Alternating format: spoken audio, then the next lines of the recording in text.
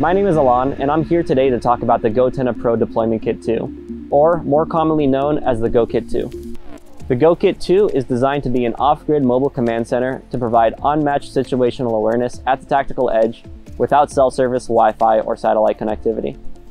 Many users take these kits into the field with them. Whether it's a public safety response or a military operation, the case is typically left at a central location to allow control of the devices during the mission.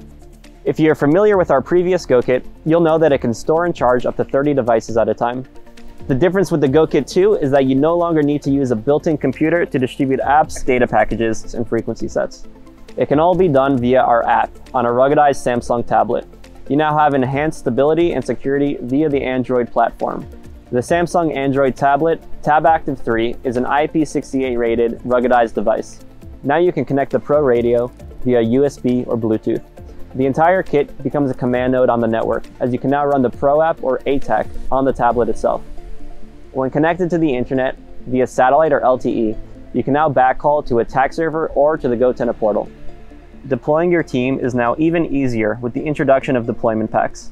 When creating and then sharing a deployment pack, you can distribute frequency sets, encryption keys, maps, ATAK data packages, and location sharing intervals. All this essential data is shared with end-to-end -end encryption over a Wi-Fi hotspot. Here's how to deploy ATAK or the GoTenna Pro app from the Mission Control tablet. When you originally receive your GoKit, you'll be able to sign into your account or deploy offline. You will now have all the same functionality as a regular GoTenna Pro X user on your GoKit. You can pair to a GoTenna Pro X, tune to new frequency sets, share PLI, set encryption keys, and of course chat and share map objects.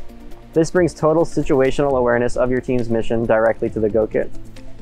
The deploy option allows you to create deployment packs for quick team setup in any off-grid environment.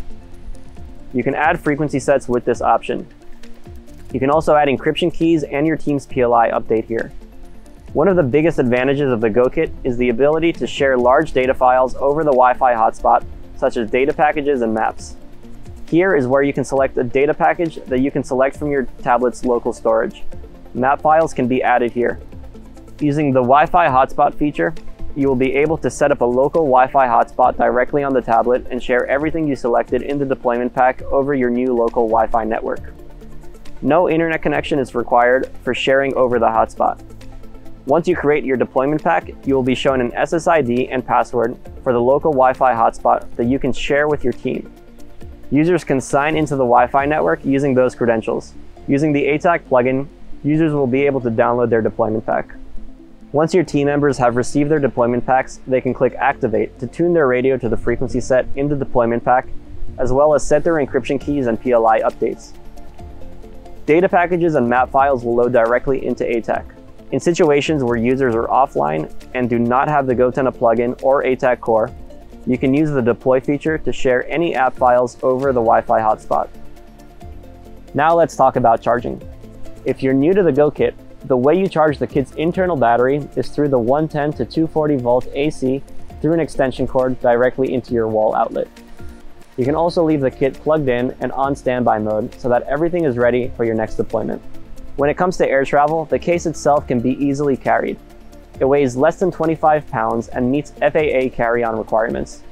And now you're able to deploy anywhere in the world offline using your GoKit 2.